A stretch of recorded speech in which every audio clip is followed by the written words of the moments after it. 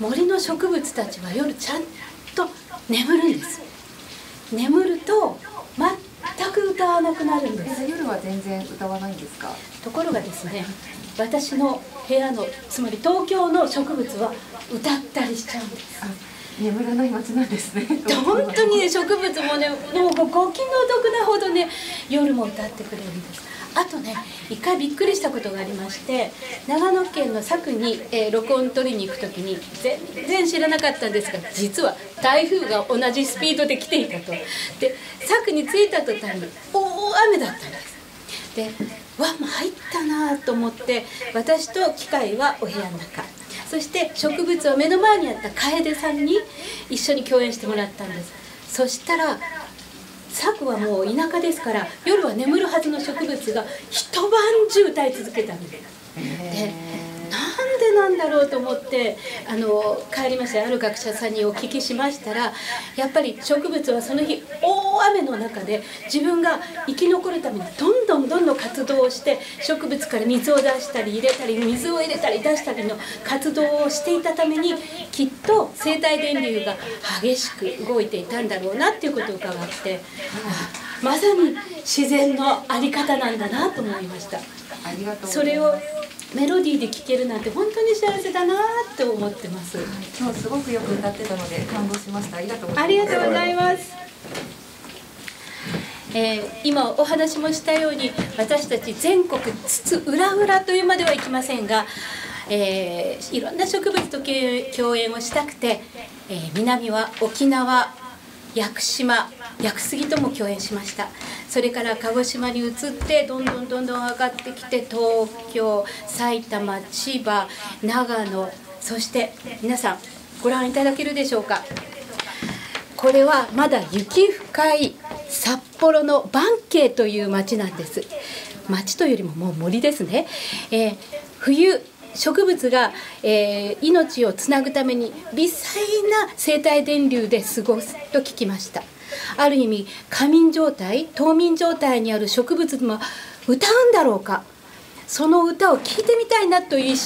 一心で皆様にご協力を得てこの雪の中に楽器と機器を持って行って演奏をしています。歌ってくれたんですよそれが。今の拳みたいに淡々と優しいメロディーを、はあ、すごいなと思いました。そしてですね私たちがその植物の音楽を、えー、演奏し始めた頃になんと突然ヨーロッパからオファーが来たんです。それが第1回植物と人が共演するコンサート。それにぜひ日本から参加していただけませんかというオファーだったんです。そのコンサートがこれなんです。2017年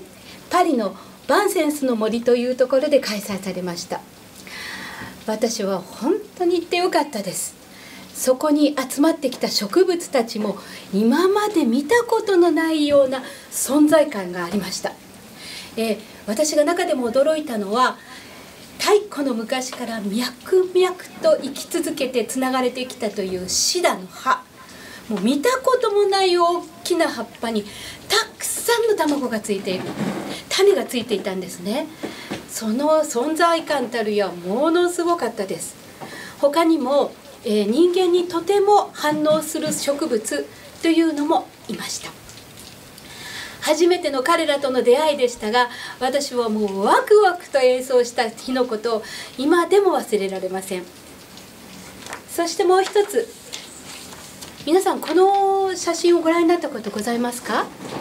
これはアメリカのシアトル。アメリカにシアトルに、えー、建てられたビルディングなんですが、えー、皆さんもよくお使いになっていると思いますがアマゾンのビルなんです。なんと巨大なガラス張りの球体の中に世界中から集められた絶滅危惧種と言われる植物が2万種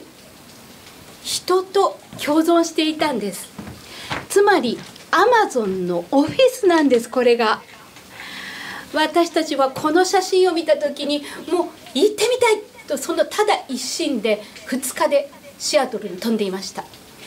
そして半ばゲリラ的に、えー、ライブ演奏した音楽を YouTube に上げてありますので是非よろしければご覧になってください。